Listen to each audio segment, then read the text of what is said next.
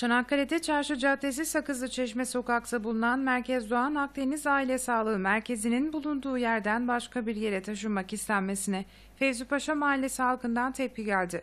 Fevzi Paşa Mahallesi'nin yanı sıra Namık Kemal Mahallesi, Kemal Paşa Mahallesi ile İsmet Paşa Mahallesi'nin bir bölümünde hizmet veren sağlık ocağının hasta nüfusunun 10 bine yakın olduğunu söyleyen mahalle muhtarı Ramazan Işıldak, kendilerine verilen sözlere rağmen binanın boşaltılması için resmi yazı gönderildiğini söyledi.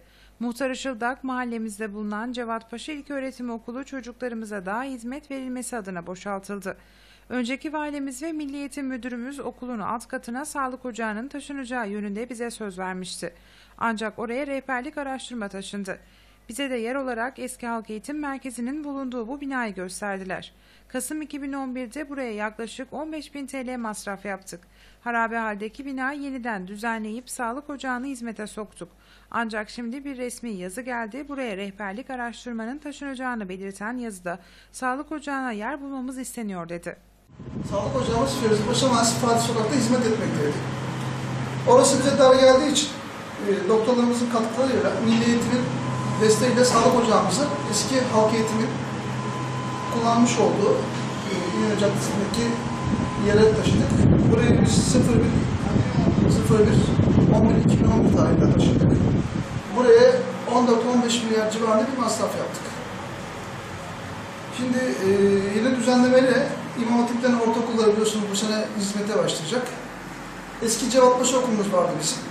Çocuklarımız iyi eğitim görsünler diye biz Cevatpaşa okulunu kapattık. Kapattıktan sonra e, buraya giden valimizden ve eski Milli Eğitim Müdürlüğümüzden söz almıştık. Sağlık ocağımız orası kapandıktan sonra mahalle halkına ve oradaki civardaki vatandaşlarımıza daha rahat hizmet etmesi için alt kısmını sağlık ocağı yapacaktık. Ama bu verilen sözler bize tutulmadı. Daha sonra dediğim gibi 2011 tarihinde Kasım ayında burayı bize gösterdiler. Biz de buraya 14-15 masraf, 15 bin yakın doktorlarımızın yapmış olduğu masraflarla burada hizmete başladık. E, efendim şimdi bize bir yazı geldi. İşte 15 gün içinde sağlık ocağını boşaltın. İyi güzel de biz buradan nereye gideceğiz?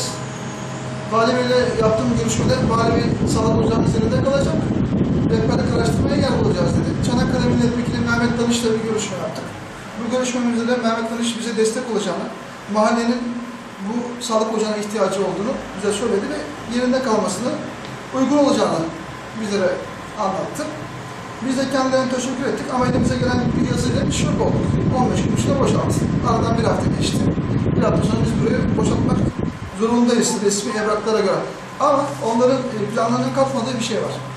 Bu sağlık ocağında Fevzi Paşa Mahallesi komple, Namık Kemal Mahallesi komple, İsmet Paşa Mahallesi'nin bir kısmı, Kemal Paşa Mahallesi'nin bir kısmı burada sağlık hizmeti almaktadır.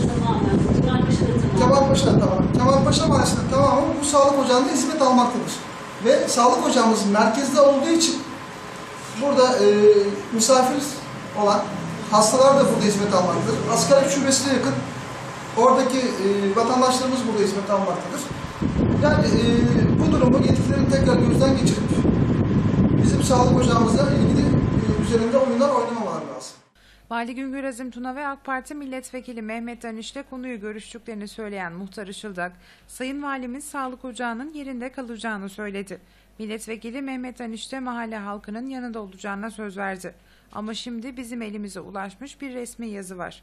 Burada 15 gün içerisinde binayı boşaltıp teslim etmemiz isteniyor. Bunun bir haftası geçti kaldı bir hafta.